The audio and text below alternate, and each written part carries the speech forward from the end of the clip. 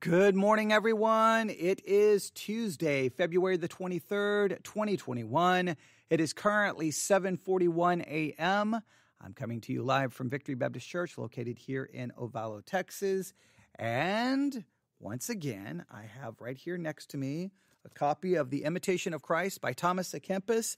And well, we're going to use this Tuesday morning, early Tuesday morning, to spend some time considering what Thomas à Kempis has to say in chapter 21 of book one. Remember, the imitation of Christ is broken down into different books. We're still in book one, we're in chapter 21. And today we're going to turn our attention to the subject of contrition, contrition of heart. That's the title of the book that I have. Okay, I was looking at my iPad. A notification just went out that I'm going live on the air, so that's good. Um, sometimes that those notifications work, sometimes they don't. Hopefully, you get the notifications when I'm live on the air. Hopefully, you do so. Um, but yes, good morning, welcome. Contrition of Heart is the name of the chapter, Book One, Chapter 21 of the book of The Imitation of Christ by Thomas à Kempis. If you haven't been with us with our study of the previous 20 chapters, you've missed a lot. It's had a lot of twists, it's had a lot of turns. Some of them have been good, some of them have been bad, but I hope they've all been beneficial in some way, shape, or form. It's the way I'm approaching the book is probably uh, not what a lot of people would, would like because you're like, you know, I, I'm already ready to move on, but I'm, I'm just working through the book um, and hopefully Hopefully, you've got a copy. If you if you need a copy of the Imitation of Christ by Thomas Kempis, they're easy to find. And uh, yeah, there's you can uh, you can uh, if you go to uh, the theologycentral.net pod page, go to theologycentral.net. That's theologycentral.net. Theology Central all run together. Theologycentral.net. Go to the blog section. You have to scroll down a few entries, but look for the blog uh, post uh, on uh, the Theology Central Book Club. There'll be a link. Go to the Theology Central Book Club. It'll show you the book that we're currently reading, which is The Imitation of Christ by Thomas à Kempis. You can click on that. You can purchase a digital copy, or you can look for a physical copy if you want. They're they're all physical and digital. They're they're relatively cheap. The Imitation of Christ has been around for uh, you know the book The Imitation of Christ has been around for so long. Such a classic book, so popular uh, that there's all kinds of different translations and it comes in all kinds of different versions. And and and when I say versions, like they may add you have some that they'll add, you know, like study notes, some, you know, there, there's just all kinds of different ways of, of finding a copy. So find a copy, join us. Even if you're like, well, I've missed the, the previous uh, 20 chapters, that's okay. Just join us, start where we are right now, and then you can go back at a later time. But let's just jump in. It's been, so when was the last time we studied the imitation of Christ? Let me look here. It's been, it's been too long, and I apologize for that. Yeah, I, I've been getting very frustrated with myself because I I there's so much that I need to do that I just keep you know I, I get mad at myself that I keep adding new things you know oh let's do this let's do this uh, because I there's always more that I there's more I there's always more to do than I have time to do if that makes any sense in other words um, I every day I can come up with, oh, I should do this, and oh, I should do this, and I should start a series on this, and oh, we should work on this, and we should work on that. And while I'm coming up with all of these ideas, then you just got the normal things uh, happening in our world that then leads me to come here and then say, okay, we got to focus on this now. Well, those those current events, those current situations those then push aside the other things I was working on, and it just starts all piling up. And sometimes I feel like I'm drowning. I really need, like, you know, I just need to be able to sit here for 24 hours a day. That's what I need. But I can't obviously do that because I have other responsibilities and other things I need to do. But I hope. I, I hope I, most of you are very gracious uh, with the fact that I don't always do things probably I don't always make the best choices and how I organize things and all the different series that I start, but hopefully, uh, I think most of you are, have been very gracious. Maybe, maybe you haven't been. You've been gracious to me. Maybe you're at home going, you know, that guy's an idiot, and and maybe and you're probably right. You're probably right. But the last time we uh, studied uh, the Imitation of Christ was February the second, twenty twenty one, and what today is the twenty third. So yes, that's that's a, a, a very long uh, gap right there. And of course, there's been. You know, Texas did get hit with 14.8 inches of snow here in the local area, and we lost power and water. So, yeah, there's some things that are beyond my control, you know. Uh, so, yes, and and the, and the last episode, I just I talked about uh, James saying, "Hey, we can't say tomorrow I'm going to do this, tomorrow I'm going to do this, because tomorrow is not guaranteed. If the Lord will." So, I'm here today, so let's make use of this time today. Are you ready? Imitation of Christ. If you can open up your copy, great. If you can't, well, then you've got to listen to me read. All right. Here we go. Let's just jump in. Uh, well, in fact, let's do this. Uh, chapter 21 of the Imitation of Christ is called Contrition of Heart. Contrition of Heart. So you know what we need to do. Let's do this. Contrition of heart. Let's uh, let's look up the definition for the word contrition. I think that would be a good exercise. I had looked it up and obviously I closed it out, which makes no sense. Here we go. contrition. Let's look up contrition. Uh, the word contrition is defined as the state of feeling remorseful and penitent. All right. In the Roman Catholic Church, the repentance of past sins during or after confession. All right. Contrition. Now, please note in the Roman Catholic Church, the repentance of past sins during or after confession prayers of contrition. Now, remember, Thomas à Kempis is coming from a Catholic perspective, so we'll have to keep that in mind and see if we we may want uh, we may have to do some uh, work in the Catholic Catechism. We, we may we may have to go back to that. I didn't even think of it from that perspective uh, I should have, and now I realize, wait, I may I may be approaching this the wrong way. So we may have to change my approach immediately. But we'll we'll we'll see what we can accomplish in this episode. All right, but this this could open a door for a lot of different studies. So we will see. So again, contrition. Let's just go with the basic idea: the state of feeling remorseful and penitent. Um, right here, I just looked up contrition on, on, on a Google search bar. That's the first definition. But over here to the right, they have this in Christianity, contrition is repentance for sins one has committed. The remorse, remorseful person is said to be contrite. A central concept in much of Christianity, contrition is regarded as the first step, first step through Christ towards reconciliation with God. So they're saying within Christianity, Contrition is regarded as the first step through Jesus Christ towards reconciliation with God. That contrition is the very beginning of, in a sense, our, our, our, our first steps towards God and our, our first steps in our Christian life. It is contrition, this remor- remorsefulness, that is sorrow, that is brokenness over our sin contrition of heart. Let's see how Thomas à Kempis approaches this. Contrition of heart is the title of the chapter, and this is how he begins this chapter. If you will make any progress, keep yourself in the fear of God. Let's stop right here. Thomas à Kempis wants you and I to know that if we're going to make any progress in our Christian life, we have to keep ourselves in the fear of God. That's an interesting concept. Now, we, we talk about fearing God. Thomas à Kempis puts the emphasis on keeping yourself in the fear of God. In other words, you may fear God today, there's no guarantee you're going to be fear, fearing God tomorrow. You have to work to keep yourself in the fear of God. That is a very interesting concept. My, my translation of the imitation of Christ, they provide in parentheses here Proverbs 19:23. All right?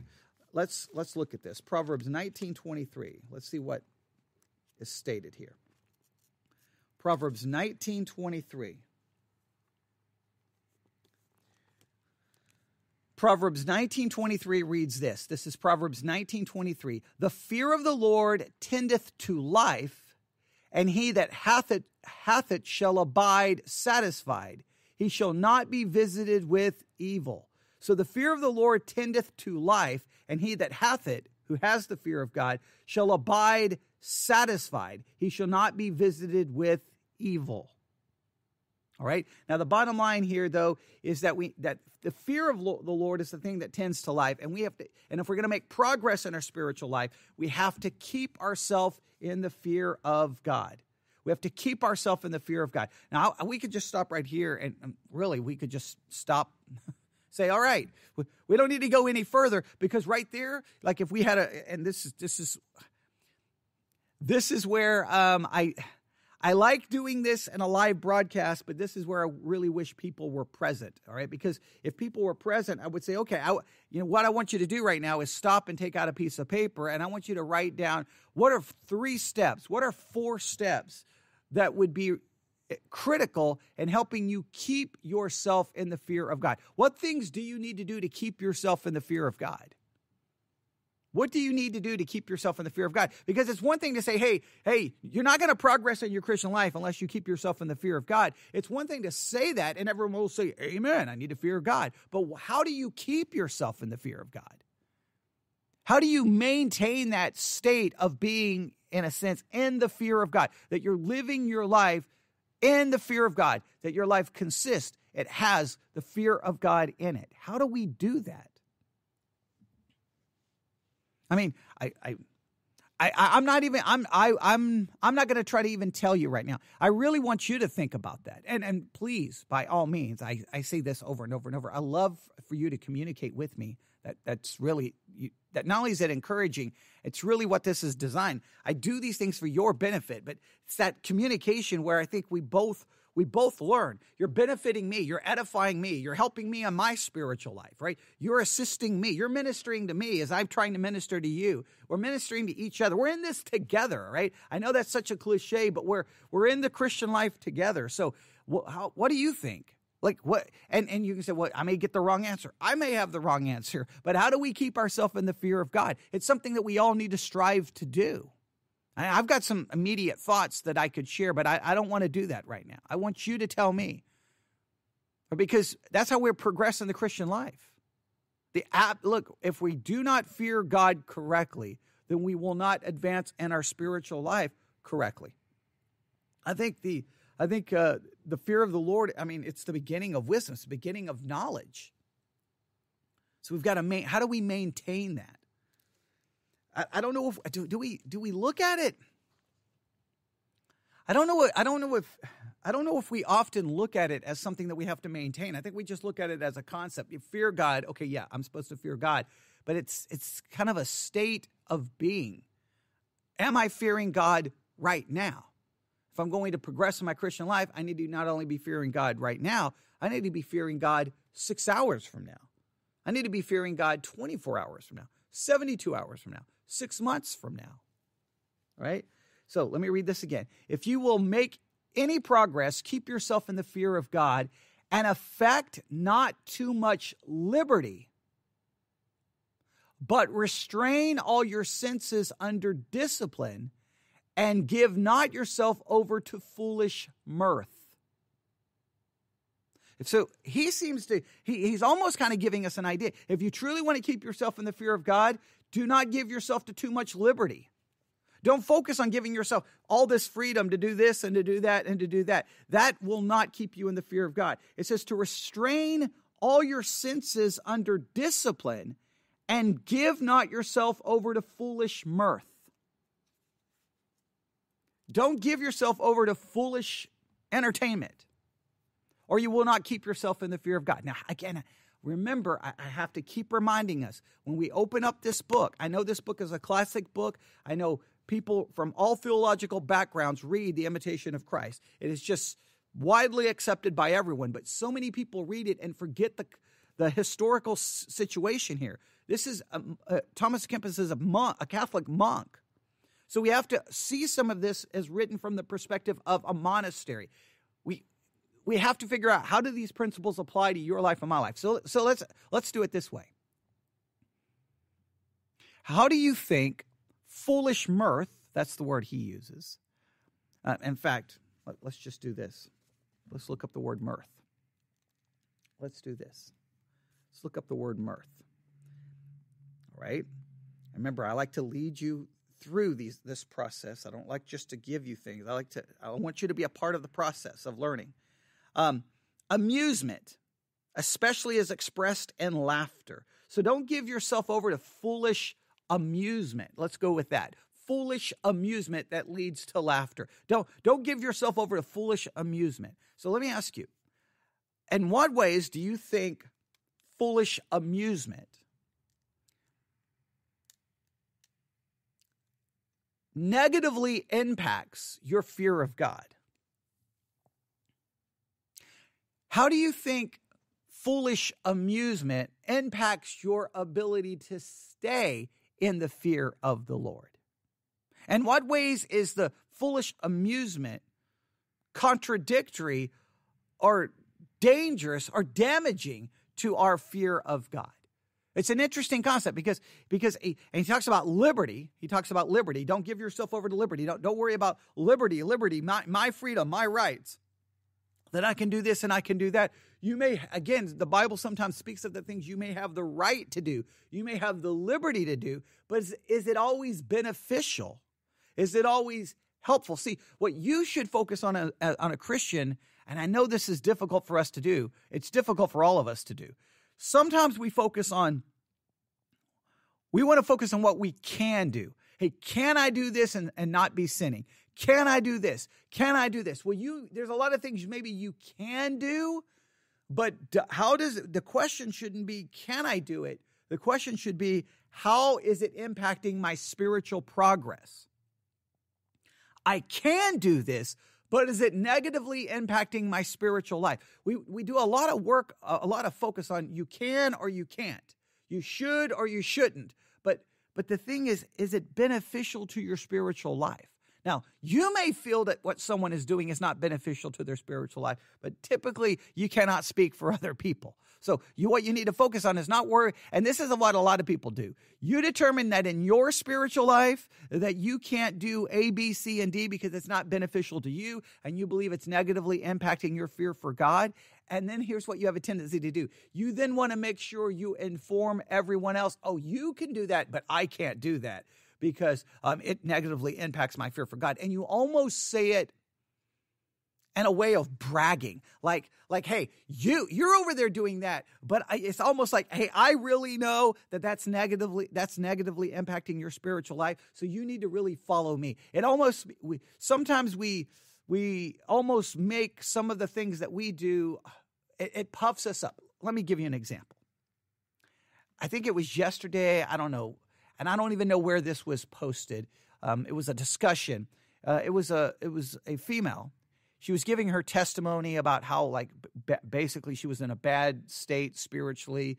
Uh, i don't i don't remember all the details of it but she was in a pretty bad uh, situation.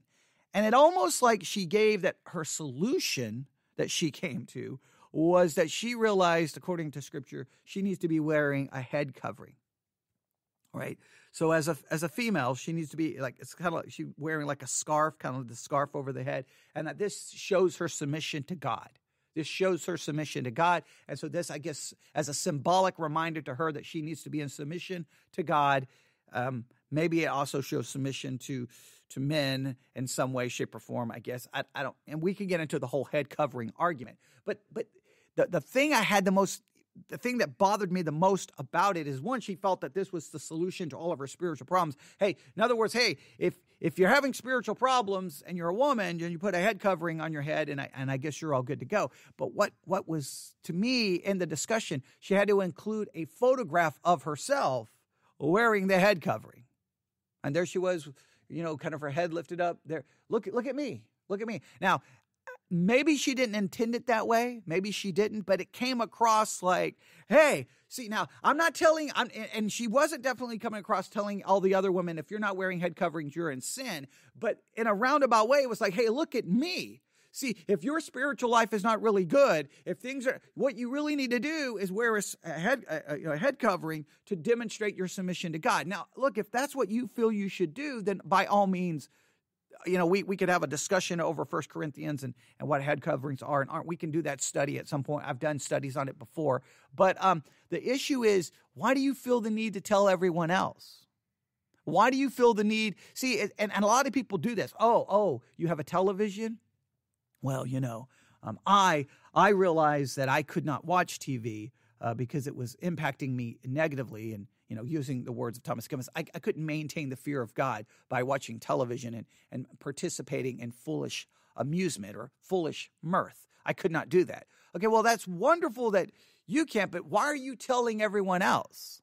Why are you telling everyone? Are you telling everyone else because you believe it's the only way? Are you telling everyone else because now what you have uh, abstaining from really is it's, it's more about puffing you up. See, if it's puffing you up and it's making you arrogant and it's making you spiritually look down on other people, then most likely you're not maintaining the fear of God.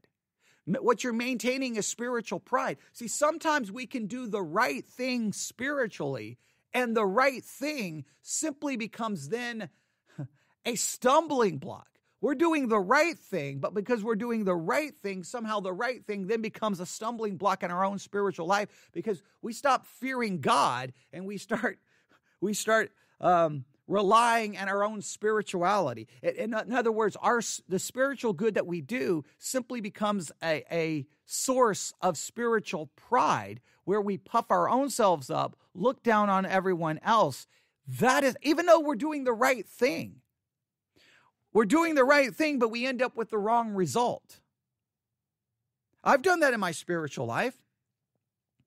I did the, I, have told the story a thousand times, but but I mean sometimes I can only tell the stories. I can only sometimes share my experiences, right? Sometimes uh, people, when a pastor is in a church for a long time, the people get tired of hearing certain sto- stories.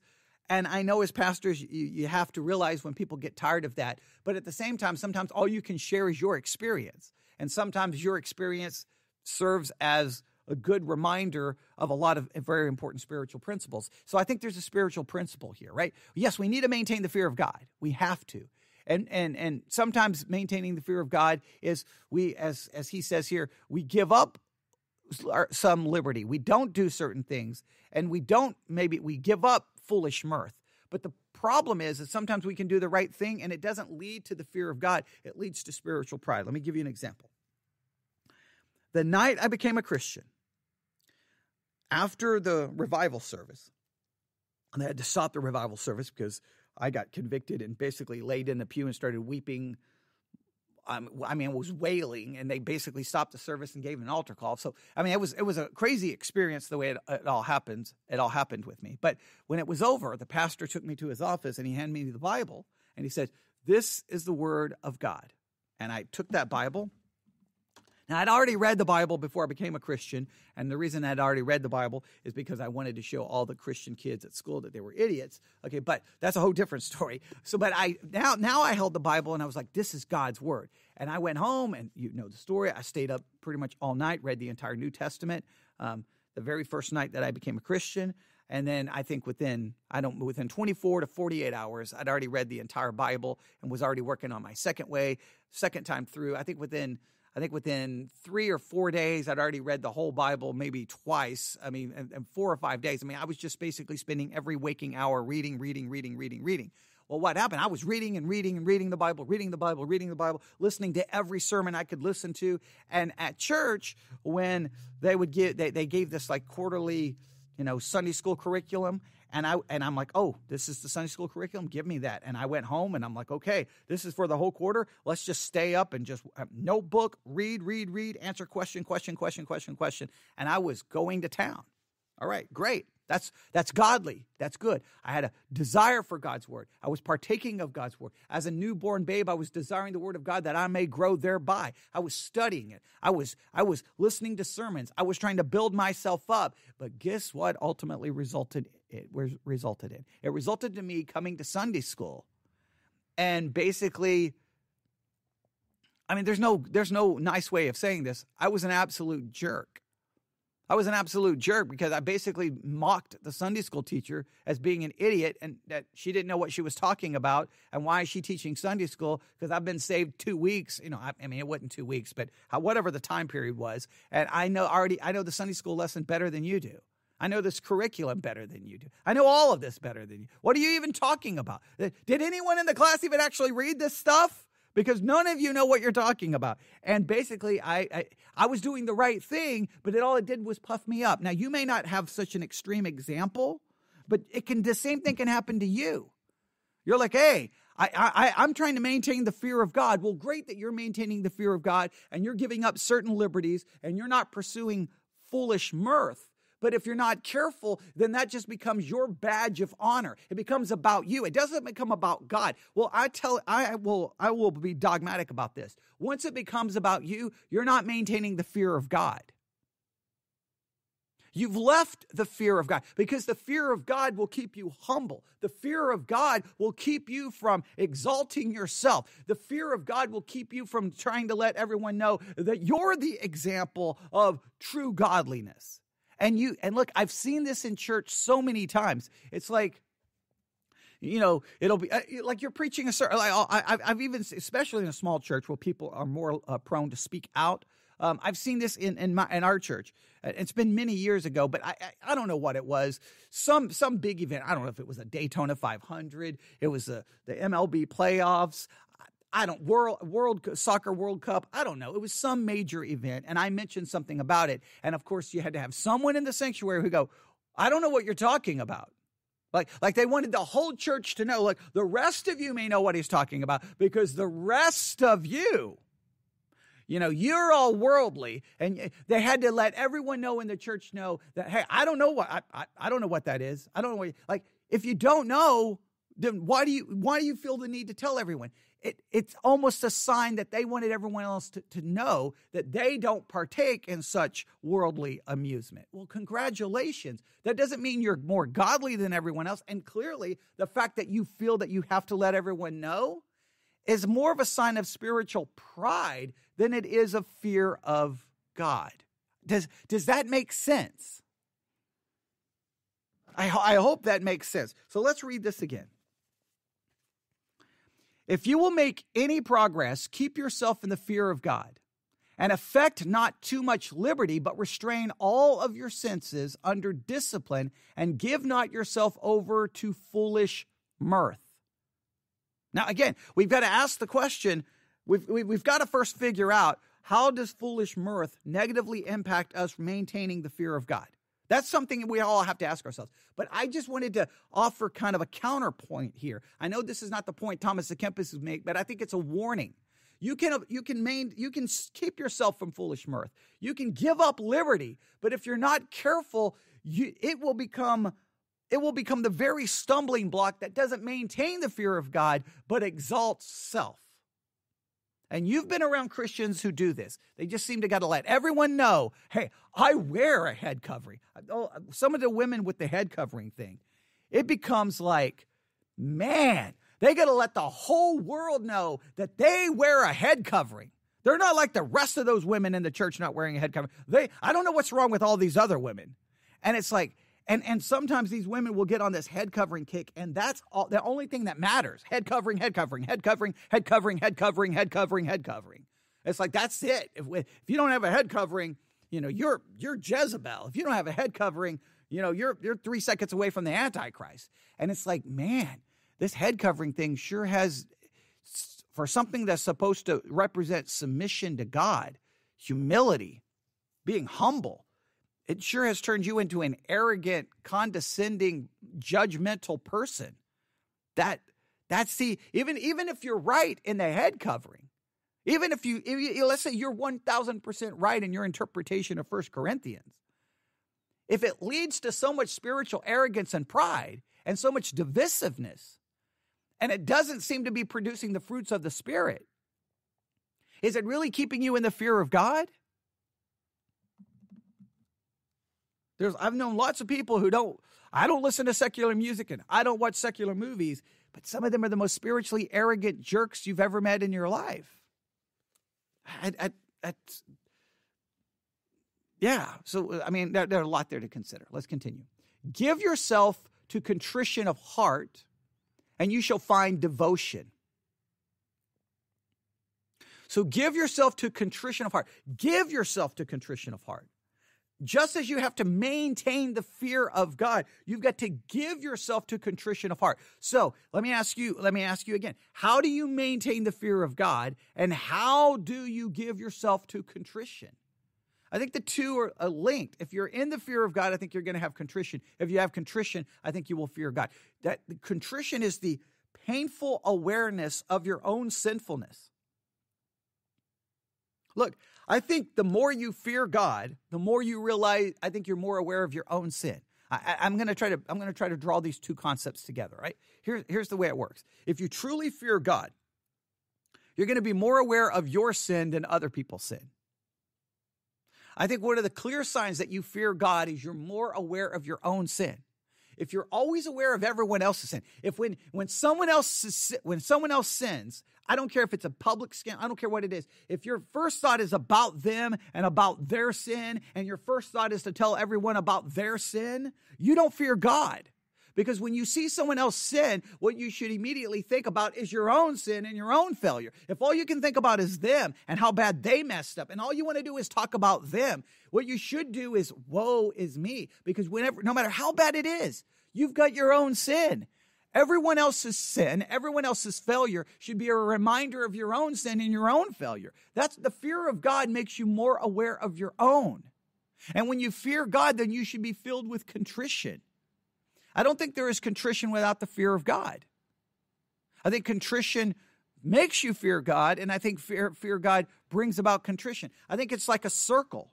Fearing God leads to contrition, and the more con- contrite of heart you are, the more you fear God. Because the more you become aware of your sin, you, look, the more you are aware of your sin, the more you become you you realize how how God how holy God is, and the more you're aware of God's holiness, the more you realize how sinful you are.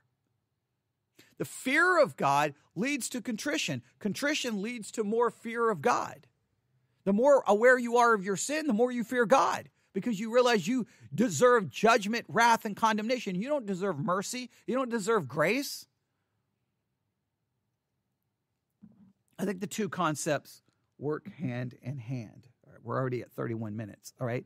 Um, here we go. We're going to read this whole paragraph. We're not making it too far, okay? We're not making it too far. But there's a lot of, uh, look, there's a lot of good stuff here. This is, man, I, have a, I, re- I really do have a hard time with this. I have a hard time that, hey, if I want to talk about the pastor in Canada and him being arrested and offer my hot, my quote unquote hot take on it that made so many people mad, oh, look at the number of downloads I've gotten about my discussion about what's happening in Canada.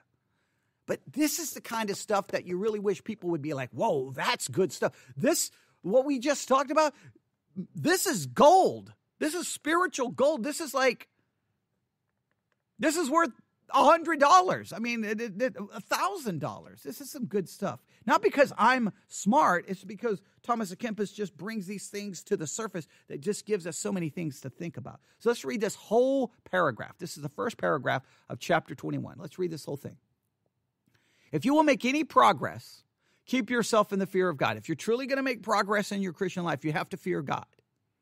And affect not too much liberty, but restrain all your senses under discipline and give not yourself over to foolish mirth. So we have to ask ourselves how does foolish amusement combat our fear of God? But at the same time, we need to be warned, right? That we can, we can listen, we cannot engage in too much liberty. We can restrain all of our senses under discipline. We can we can refrain from foolish mirth. But if we're not careful, all of these good things will not actually keep us in the fear of God. These can become the very source of spiritual pride. And the minute we begin to have pride about it, and I gave some examples of how people kind of demonstrate this pride, you're no longer fearing God. Even though you're doing the right thing. In fact, doing the right thing is now becoming a spiritual stumbling block in your own life. Give yourself to contrition of heart, and you shall find devotion. Give yourself to the contrition of heart, and note you will find devotion. If you want true devotion in your spiritual life, if you want, you've got to give yourself to contrition. And again, fear of God leads to contrition, contrition leads to the fear of God. It's a circle. All right. And then, last sentence contrition lays open many good things, which distraction is, is want quickly to destroy. Contrition lays open many good things. If you're contrite and hard, if you truly experience contrition in your spiritual life, it's going to lay open many good things. A lot of good spiritual things are going to come from it. However, this is distraction is want quickly to destroy. Distraction will try to destroy these good things. You cannot become distracted from fearing God or from contrition. Distraction will take away, distraction will say, hey, don't focus on your sin. Don't focus on being broken over your sin. Don't focus on fearing God. You're going to become distracted. You're going to be like, look at this and look at that. And Christians get distracted by so many things. We get distracted by amusement, gossip, slander, other people's failure, controversy. We get distracted by so many things, and it will literally destroy our contrition. We need contrition. All right? I'm going to stop right there. Do I have Let me look. I'm going to I got a Bible dictionary here. I'm going to look something up really quick. I'm going to look something up here. Give me one second. I, I just I didn't think of it, but let me look at it. Contrite. Okay. They do have an entry for contrite. Uh, contrite, the kind of spirit or heart pleasing and acceptable to God. Contrite, crushed, I guess is how it's uh, translated in some uh, scripture. People who have contrite spirit weep over wrongdoing and express genuine sorrow for their sins. People who have a contrite spirit. Do you have a contrite spirit? They have a they uh, they offer up Psalm 34, 18. Let me look, let me grab my Bible here. Give me one second. Psalm 34, 18. Psalm 34, 18. It's a very powerful concept here. Psalm 34, 18. Yeah, here we go. Psalm, uh, Psalm 34, 18. The Lord is nigh unto them that are of a broken heart and saveth such as be of a contrite spirit. That the Lord is nigh unto them that are of a broken heart and saveth such as be of a contrite spirit. Are you do you are you do you fear God and do you have a contrite heart, a broken or as they say a contrite spirit as the way it says in the King James? Do you have, do you have you felt contrition? Truly feel that? Do you fully truly feel the weight of your sin? Sometimes the only time we feel the weight of our sin is when it's big, when it's scandalous, when people find out. But you're, you're in a constant state of sin. We got to feel that contrite heart, which will lead us to fear God. And the more we fear God, the more we'll have a contrite heart.